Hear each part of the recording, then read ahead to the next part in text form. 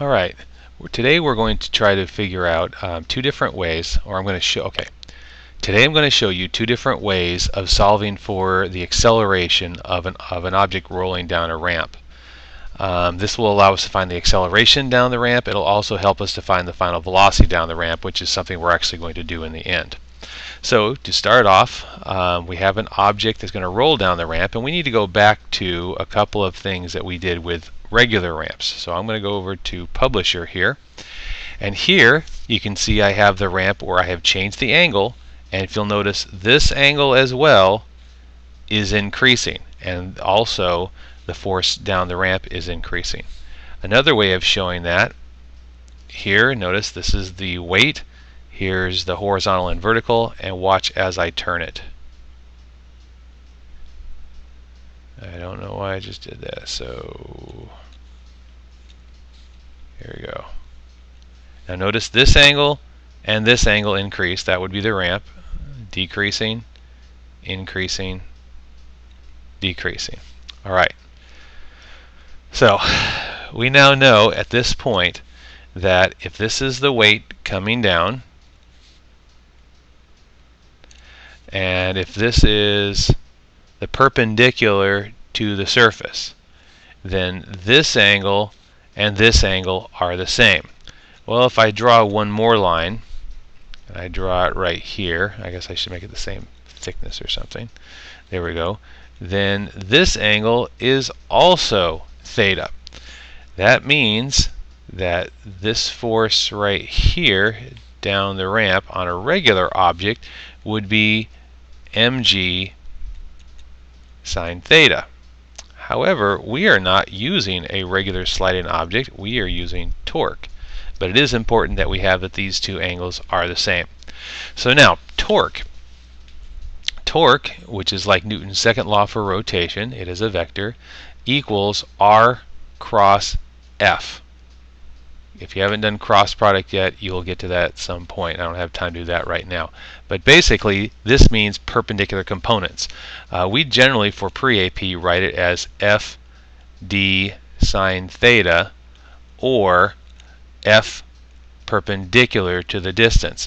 But you know, sometimes it's difficult to find the perpendicular force to the um, axis or parallel to um, the lever. In this case, that's the same because we're actually pivoting right here. We're not, uh, sorry, we're torquing about this point even though it pivots here. So I've made this bigger and let's go down and take a look at this. If I zoom in on this point right here and I call that my pivot, well, if this say is the center of the uh, center of mass of the circle, or in this case we're going to do a disk, okay, and here again is straight through the point where it's actually rotating. And here's theta which we know to be the same as the uh, same as the ramp. Well we can also do something right here. This is the perpendicular distance. This right here I do this called the moment arm. I'm not sure if that's the actual notation but it works fine. The moment arm is the perpendicular distance um, from the pivot point to the acting force. Well, what is this acting force?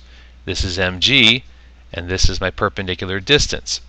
Well, if torque, if torque equals my perpendicular distance times my force, in this case, this perpendicular distance is opposite the angle, so that will be r, this is my hypotenuse, it's the longest one, r sine theta times mg. I now have my torque. All right.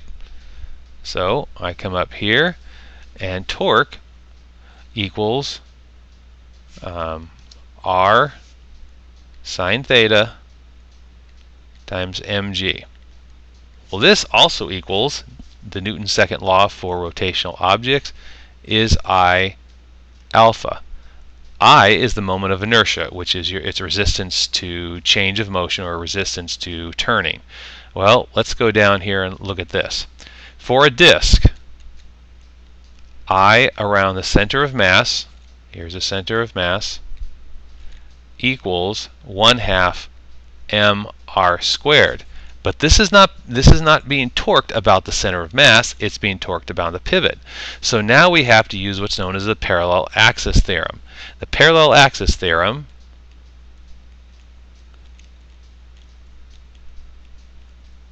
There it is. Parallel axis theorem is I about some point parallel to your center of mass equals it around the center of mass plus m h squared, which is the parallel distance to the center of mass. And since these two are parallel, that distance h is actually r.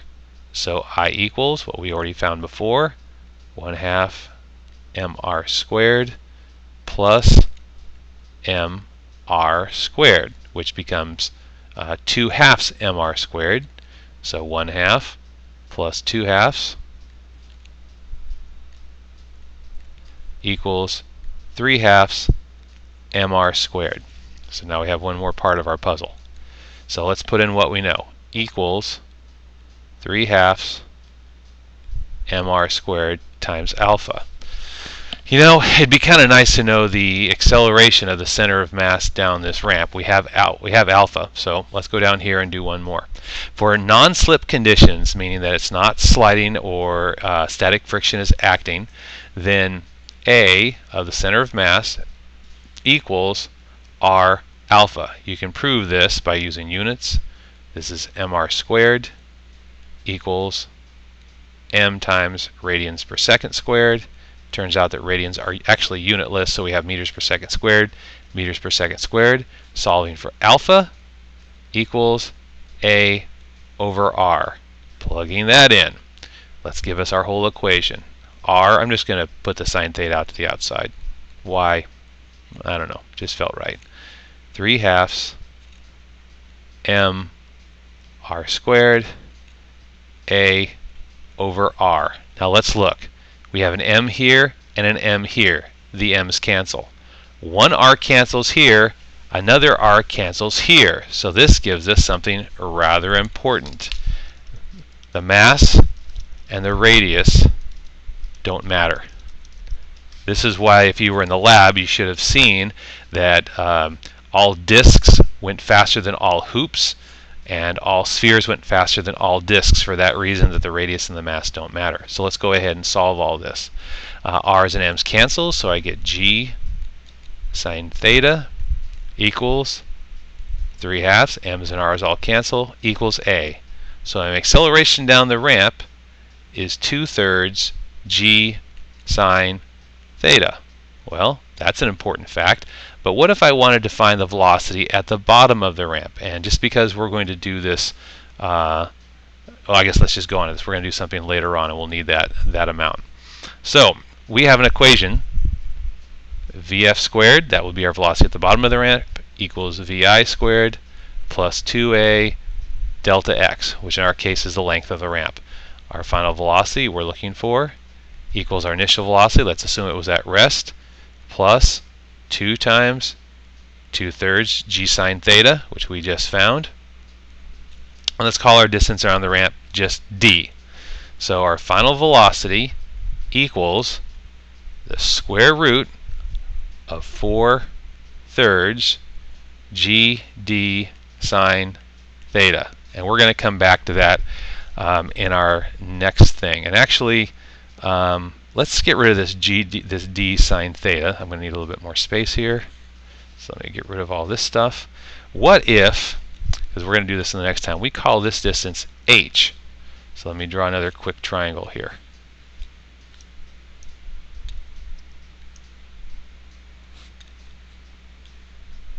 Alright, so if this is our triangle again and we call this d, theta, and h, we can see that h is opposite.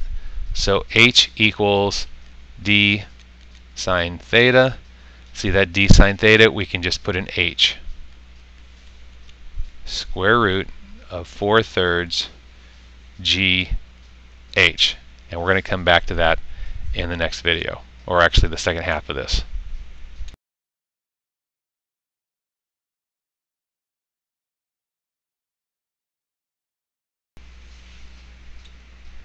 We just found out in the first half by using torque that this would be our final velocity at the bottom of the ramp. Let's check that with energy. We know at the top that it'll have potential energy, which in AP Physics we use U, and it will have kinetic energy at the bottom. But it won't just have linear kinetic energy, meaning it won't just be moving forward, it will be spinning as well. So we'll have U equals our translational or linear uh, kinetic energy, meaning forward motion, plus rotational kinetic energy. Well, this is simply mgh. That's simple enough. Our translational kinetic energy is what we already know, 1 half mv squared. And our rotational kinetic energy is now 1 half i omega squared. Now, here's where uh, I made a mistake a couple of times. What is this i this time? Before, we had 3 halves mr squared because we said that it was rotating about this point. Well, that's true if you're you're torquing it. But if you look at its motion down the ramp, it's actually rotating about its center of mass. So this is going to be I of the center of mass, which for a disk is just m 1 half mr squared. This right here, yeah, omega equals v over r. Let's prove that. Well, this is just going to be radians per second, and this is going to be meters per second divided by meters, which is uh, just per second. Let me just show you that the easier way. You've got radians per second, that's omega, and then let's put meters per second over here for V. Well, where do you have to put meters to make this? Over here. So that's where R goes. So R times omega equals V, or omega equals V over T.